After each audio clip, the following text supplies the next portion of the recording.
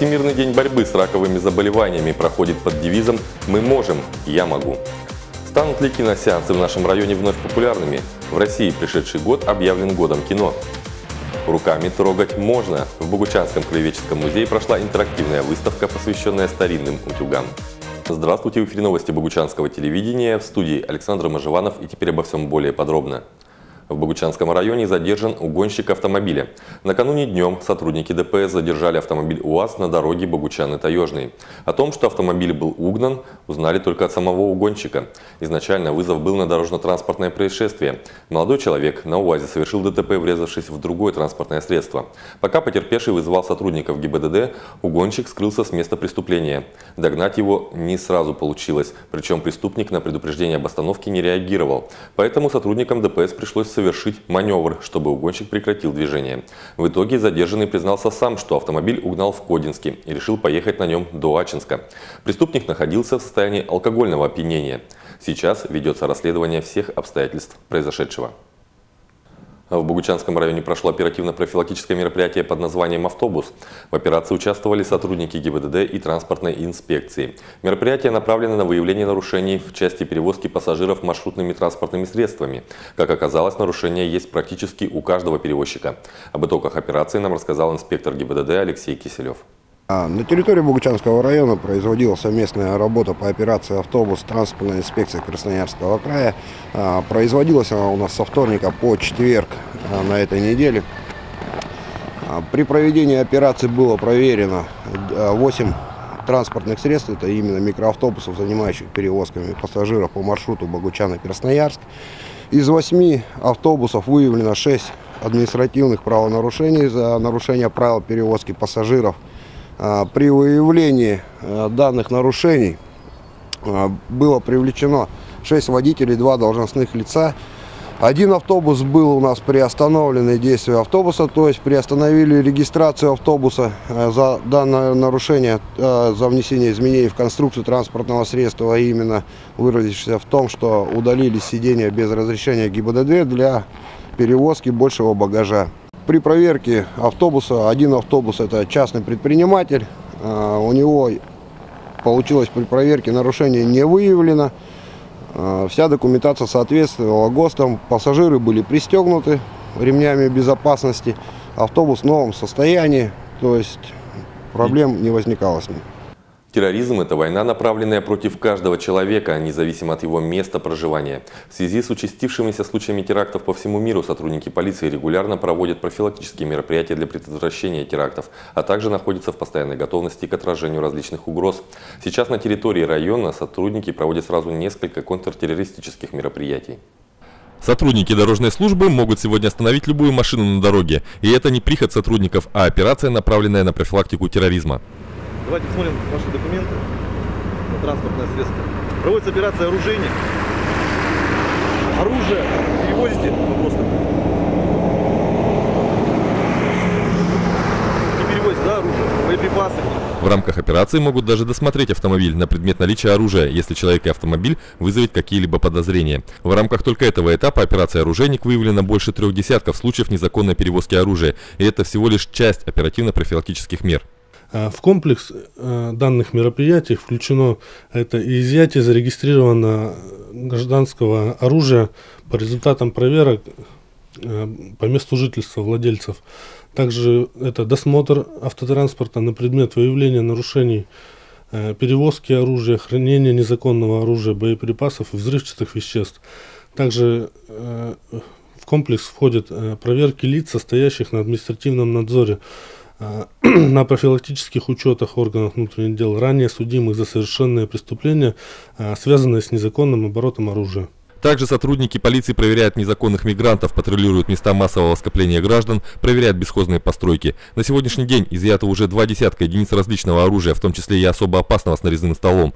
И все эти мероприятия будут продолжаться не один день. В связи с возникшей проблемой международного терроризма и в целях предотвращения предпосылок Э, к совершению террористических актов и беспорядков иных опасных противоправных действий на территории Богучанского района с 27 ноября 2015 года и э, до особого распоряжения, распоряжения проводятся профилактические мероприятия антитеррористической направленности. Отдел МВД России по Богучанскому району призывает всех граждан быть бдительными и своевременно сообщать информацию о подозрительных людях или оставленных предметах. И, возможно, именно ваша информация поможет спасти невинных людей. Александр Межванов, Дмитрий Синяев, телекомпания «Спектр», Богучаны. В разных поселках района стали появляться яркие таблички с надписью «Энергохам». К такому методу воздействия одному из многих вынуждена была прибегнуть Красноярская региональная энергетическая компания. Главная задача – это борьба с потреблением неучтенной энергии, попросту ее хищением. Таблички вывешиваются с вышки на довольно большую высоту, чтобы побудить абонента заплатить за потребленную электроэнергию и не нарушать установленные правила потребления. Очень много абонентов, которые воруют, и за них получается, что страдают абоненты добросовестные, которые платят и пользуются аккуратно. Идет перегруз на линии, естественно, недопоставка электричества, у кого-то не работают чайники, плиты, то есть люди приходят домой и не могут не пообедать, ничего. Это вот вызывает все воровство. Поэтому мы вот э, пытаемся бороться и разъяснением, и как-то психологически действовать на людей, то есть доступными методами. Сейчас настало время рекламы, она будет короткой, не переключайтесь. Специальное предложение. При покупке приемника для цифрового эфирного телевидения антенна в подарок. Магазин «Телеспутник», улица Октябрьская, 81, торговый дом «Дружба». Магазин «Пластик Плюс» представляет широкий ассортимент качественной пластиковой и одноразовой посуды для любого случая. Отмечайте день рождения детей вне дома, спешите в «Пластик Плюс» за яркой красочной детской посудой. Вы найдете все, что необходимо для украшения стола. Отправляйтесь на природу, и здесь вас выручит товар магазина. Большой выбор кастрюль в наборах, сковороды, контейнеры для хранения продуктов, кухонные аксессуары и различные мелочи, покупка которых так приятна любой хозяйке. Пришло самое время начать готовиться к Новому году. Елочные игрушки необычайной красоты, мишура и многое другое для праздника и настроения – все здесь. Приходите, делайте удачные покупки по выгодным ценам. Мы ждем вас. Магазин «Пластик Плюс» находится по адресу село Богучаны, улица Герцена, 13, здание номер 8. Часы работы с 9 до 18 часов. Выходной – воскресенье. Хотите порадовать любимых неожиданным сюрпризом? Услышать свое поздравление в эфире? Программа «Музыкальная открытка» поможет вам в этом. Обращайтесь по телефону 22 766 или 21 202, и ваше признание или поздравление увидит весь район. Каждый четверг музыкальная открытка. Продается благоустроенная трехкомнатная квартира на втором этаже в многоквартирном доме. Район ДРСУ. Хороший ремонт. Телефон 8 950 427 58 57. Внимание! Обвал цен на объявление в бегущую строку. С 1 по 15 февраля. Скидка 50%. Справки по телефону 22 766. 4 февраля Всемирный день борьбы с раковыми заболеваниями. Он был утвержден Международным союзом борьбы против рака. Ежегодно этот день имеет свою тему. Так, в 2015 году он проходил под девизом «Рак недалеко от нас», а в этом мы можем, я могу. В Красноярском крае отмечается рост заболеваемости этим недугом. В сравнении с 2011 годом она увеличилась на 26,6%. Такой рост связан прежде всего с старением населения, так как возраст – главный фактор риска. Также с некачественной новой системой диагностики по раннему выявлению злокачественных заболеваний. Масса возможностей обследоваться есть и в нашем районе. Подробности у Евгении Шамренко. Как и для многих других, услышать пугающий диагноз для Евгения Прокопива была полная неожиданность. Но справиться с эмоциями удалось, а впоследствии и вылечиться. Это получилось внезапно. Резкая боль, увезли на скорой, прооперировали. Оказался вот такой вот диагноз. Я принял его достаточно спокойно, особо не переживал на этот счет. Семья были, друзья мои всегда рядом, звонили, подбадривали, выполнял все указания врачей и довольно легко избавился от этой болезни. Сейчас Евгений ведет абсолютно нормальный образ жизни и лишь раз в полгода посещает врача для консультации. При современном уровне медицины онкология успешно лечится, главное не паниковать. Не нужно ничего бояться. Не нужно принимать близ, близко к сердцу, расстраиваться, когда услышат данный диагноз. Все лечится, все проходит. Самое главное, чтобы быть на позитиве, положительные эмоции, чтобы преобладали, не волноваться. В 2015 году в Богучанском районе было выявлено 200 случаев заболеваемости злокачественными новообразованиями. Всего на учете состоит 715 человек. Это говорит прежде всего о том, что люди стали внимательнее относиться к своему здоровью. К тому же медицинские учреждения стали работать по программам массового обследования населения и выявлять онкобольных на ранней стадии. Практически каждая женщина, достигнув возраста 50 лет, ну, должна и обязана пройти это маммографическое обследование раз в, два года, если отсутствуют всякие жалобы.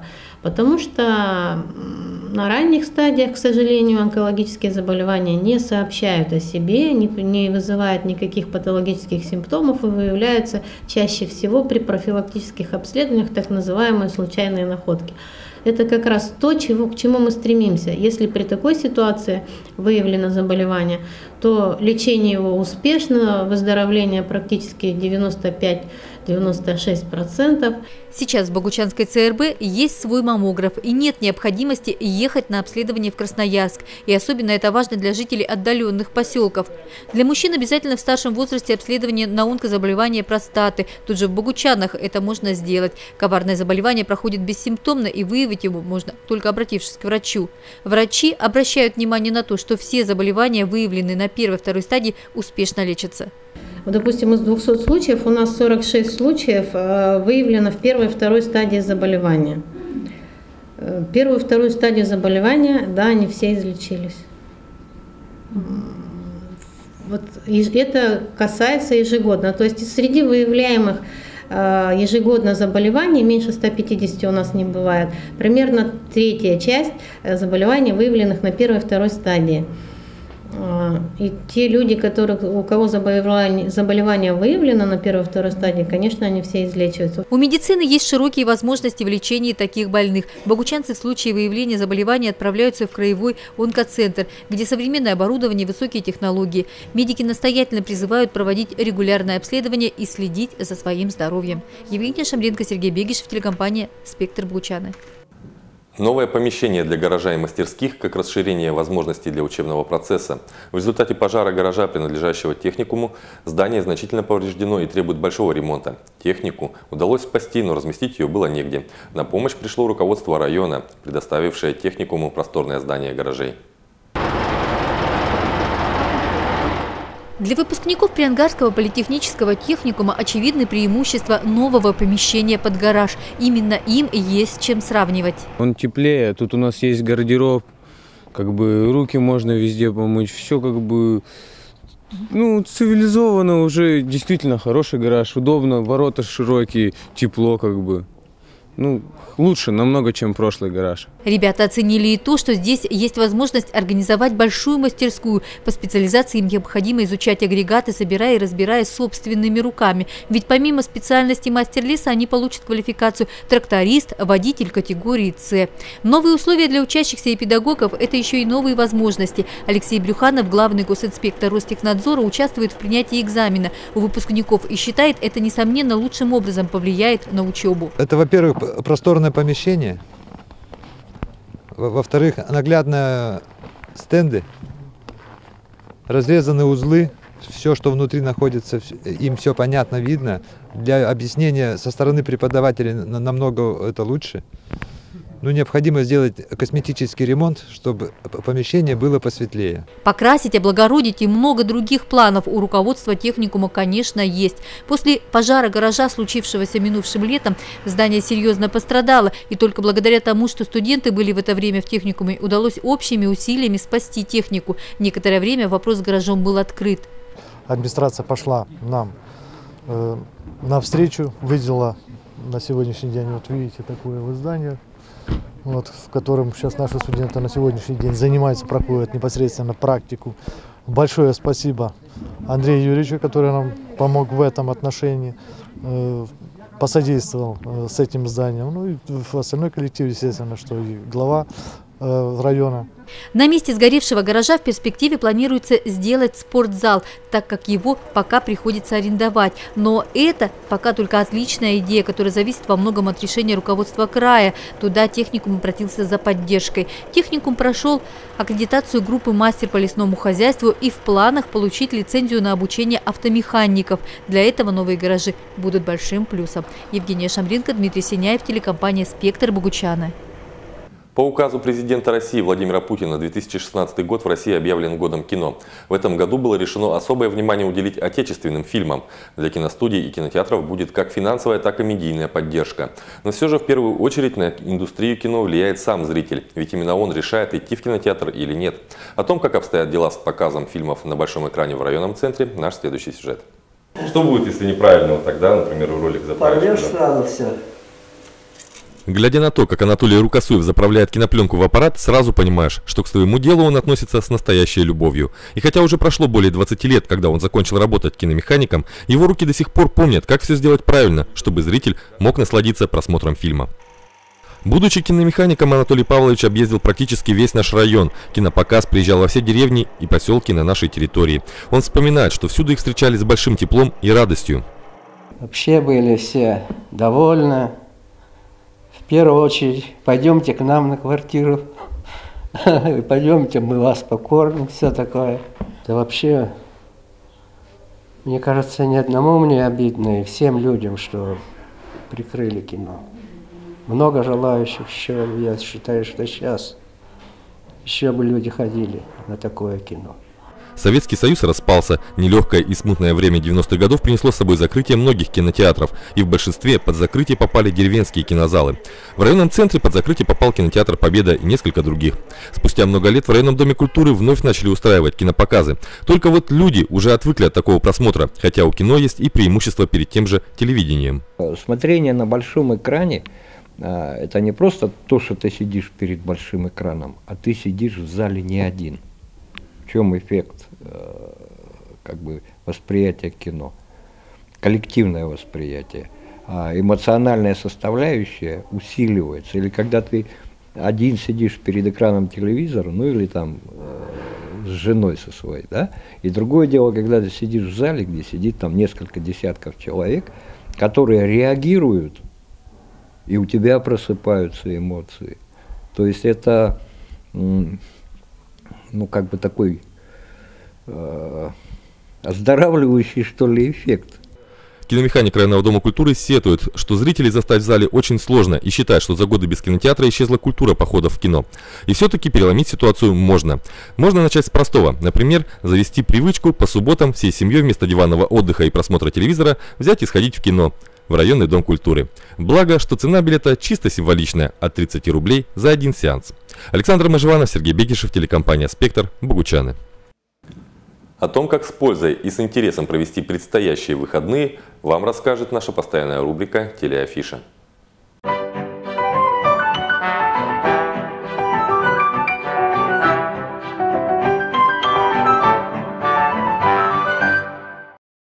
Субботу 6 февраля в поселке Гремучий пройдут соревнования среди детских команд Богучанского района по хоккею с мячом. Примут участие несколько команд – Неванка, Таежный, Гремучий, Богучана, микрорайон геофизиков, а также приглашены ребята из Кешемского района. Игры пройдут по двум возрастным группам. Начало соревнований в 10 часов. Также в субботу на лыжной базе состоятся старты лыжных гонок, школьная спортивная лига. В них примут участие школьники с разных поселков района. Ожидается участие 100 спортсменов. Начало в 10 часов. Спешите поболеть за свою школу. В этот же день в районном доме культуры субботний кинозал в 16.00 для детей художественный семейный фильм «Радости и печали маленького лорда» а в 18.00 триллер для взрослых «Уикенд» имеет возрастное ограничение 16+. Цена билета для детей 30 рублей, для взрослых 50 рублей. В воскресенье 7 февраля в районном доме культуры состоится благотворительный концерт в поддержку Гриши Мишутышкина, нуждающимся в срочном продолжении дорогостоящего лечения. В концерте примут участие лучшие творческие коллективы районного центра. Начало в 14.00, цена билета 150 рублей. Все собранные средства пойдут на лечение Гриши. Проведите выходные с пользой и удовольствием.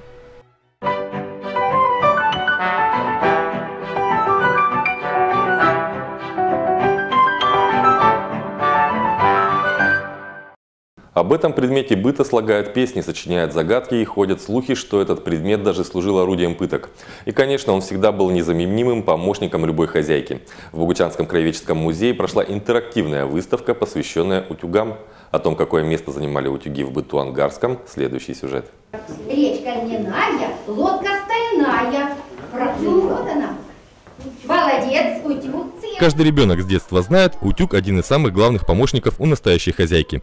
Только мало кто из детей догадывается, что у такого простого инструмента, как утюг, очень долгая история. И сегодня в музее школьники смогли в этом убедиться.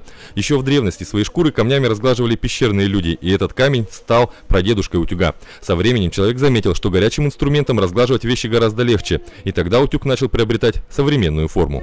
Да, вот такие литые утюги были, они отлиты из чугуна и были отлиты из бронзы. На, на самом деле литые утюги были очень большие и очень э, тяжелые. Недостаток таких утюгов был э, в следующем. Они нагревались очень долго, но остывали очень быстро. А вот такие маленькие утюжки говорили о том, что деталей на одежде было очень много, рюши, складочки. Такие утюжки специально выпускали и назывались они воротничковые. С течением времени появлялись различные разновидности утюгов. Это и цельнолитые, которые нагревались на печке, и более автономные утюги, в которых нагрев осуществлялся при помощи угля. Позже появились и электрические утюги, но старые даже в эпоху электричества еще долгое время оставались актуальными. Еще в начале 21 века этими утюгами пользовались жители э, поселков правого, правого берега, э, потому что постоянное электричество к ним пришло только после 2000, 2000 года была построена высоковольтная линия. Почувствовать разницу между утюгами можно только попробовав ими поработать. Этот шанс сотрудники музея предоставили сегодняшним маленьким посетителям. Погладив заранее приготовленные полотенца, школьники оценили преимущества и недостатки различных утюгов. Каким утюгом лучше гладить белье? Вот таким старинным или современным? Современным. Почему? Потому что старинные, они тяжелые, и их не, не понять, да еще можно об, обожечься. А эти, они пластмассовые, хорошо держатся. А какой утюг лучше гладить, как думаешь? Ну, лучше старинный. Почему? Потому что он горячее. Утюг очень тяжелый э, для женщин. Женщин, э, ну, нужно так много мускул для этого. У мужчин есть только мускулы. Работа для мужчины, чем для женщин. Какую форму обретет утюг в будущем, сложно представить. Возможно, он станет очень умным и сам будет гладить одежду, чем облегчит труд домохозяек. Но учитывая, что электричество иной раз имеет свойство отключаться, то старинные утюги сбрасывать со счетов не стоит, в чем и смогли убедиться посетители выставки. Александр Мажеванов, Сергей Бегишев, телекомпания «Спектр», Богучаны.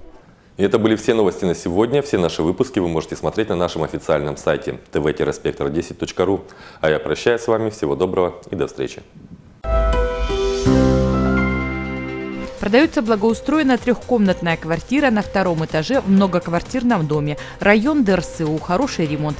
Телефон 8 950 427 58 57. Внимание! Обвал цен на объявление в бегущую строку. С 1 по 15 февраля. Скидка 50%. Справки по телефону 22 766. Богучанский районный совет депутатов сообщает о проведении пятой очередной сессии пятого созыва Богучанского районного совета депутатов, которая состоится 10 февраля 2016 года в 14 часов в зале заседания администрации Богучанского района по адресу село Богучаны, улица Октябрьская, 72.